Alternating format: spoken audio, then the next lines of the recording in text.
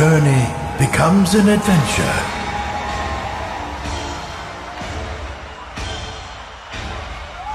Ladies and gentlemen, welcome to the stage, Dimitri